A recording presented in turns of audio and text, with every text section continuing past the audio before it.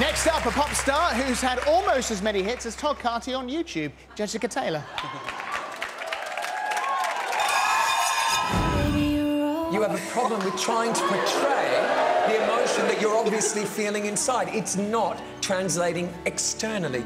Jessica is technically a, a really good skater, but it's her performance quality that we've got to bring out in her. We want her to express herself more, let loose almost. This week we've given Jessica a lot of dance moves in her routine that we hope will help her perform a little more.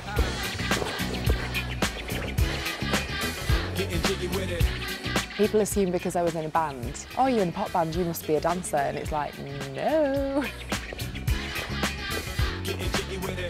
I can't do any of that. I've danced in the band in terms of step, touch, woo, yeah, microphone, that kind of thing. Uh, uh, uh. Oh, flipping it.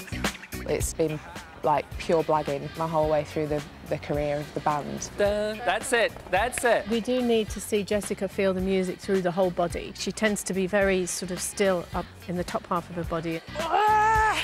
It's just like mind-boggling. I love a challenge, so I've just got to give it my best shot, really, and just shake what my mama gave me.